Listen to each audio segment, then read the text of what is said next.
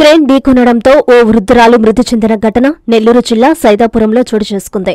సైదాపురంలోని దళితవాడకు చెందిన మల్లవరపు పోలమ్మ అనే డెబ్బై ఏళ్ళ మహిళ ఇరవై ఏడో తేదీ ఉదయం బస్టాండులో కూరగాయలు కొనుక్కొని నడిచి ఇంటికి వెళ్తోంది.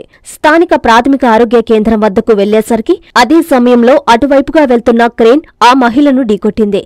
దీంతో ఆమె తీవ్రంగా గాయపడడంతో అక్కడికక్కడే మృతి చెందింది. క్రేన్ డ్రైవర్ నిర్లక్ష్యం కారణంగానే ప్రమాదం జరిగినట్లు సమాచారం. మృతురాలికి భర్త కూడా లేకపోవడంతో పన్నులకు వెళ్తూ జీవిస్తోంది. ప్రమాదంలో మృతి చెందిన పోలమ్మకు కుమారుడు రత్నయ్య కుమార్తె ఈశ్వరమ్మ ఉన్నారు. ఈ విషయం తెలుసుకున్న పోలీసులు సంఘటనా స్థలానికి చేరుకొని వివరాలు సేకరించారు. ఈ మేరకు పోలీసులు కేసు నమోదు చేసి దర్యాప్తు చేస్తున్నారు.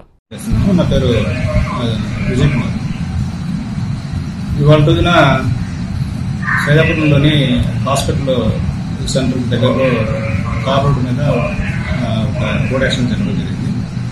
రోడ్ పోలమ్మ డెబ్బై నాలుగు సంవత్సరాలు ఉన్నటువంటి మల్లార పూలమ్మ అనే ఆమె ఆ సెంటర్లో వస్తువులు తీసుకొని సరుకులు తీసుకొని ఇంటికి నడుచుకొని వెళ్తా ఉన్నాం క్రమంలో హాస్పిటల్లో ఎదురుగా ఉన్నటువంటి కారు నడుచుకుని పోయే క్రమంలో వెనకాలగా వచ్చినటువంటి క్రేన్ ఆమెని చూసుకోకుండా అతివేగంగా జాగ్రత్తగా నిర్దేశంగా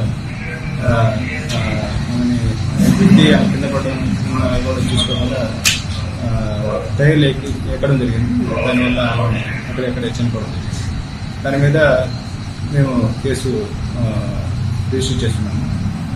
దానికి తగ్గట్టు చర్య తీసుకోవాలి ఎన్ఎల్ హాస్పిటల్స్ అత్యుత్తమ వైద్య సేవలు సామాన్యులకు అందుబాటులో. అపార అనుభవం గల వైద్య నిపుణులు doctor Nagendra Prasad Kulari managing director గుండె వ్యాధి వైద్య నిపుణులు గారి ఆధ్వర్యంలో cardiology neurology surgical gastroenterology orthopaedic ప్రసూతి మరియు గైనకాలజీ పల్మనాలజీ జనరల్ మెడిసిన్ మరెన్నో పలు విభాగాల వైద్య సేవలు అత్యాధునిక ఎక్విప్మెంట్ గల ICU operation theatre క్యాథ్లా twenty four by seven emergency మరియు క్రిటికల్ కేర్ అడ్వాన్స్డ్ మిషనరీ గల ల్యాబ్ సిటీ స్కాన్ ఎక్స్రే అన్ని కంపెనీల హెల్త్ హెల్త్ ఇన్సూరెన్స్ సౌకర్యం కలదు. అందరికీ అందుబాటులో అత్యాధునిక వైద్య సేవలు అతి తక్కువ ఖర్చులో ఎన్ఎల్ హాస్పిటల్స్ పివిఆర్ కళ్యాణ మండపం ఎదురుగా అన్నమయ్య సర్కిల్ దగ్గర మాగుంట లేఅవుట్ నెల్లూరు.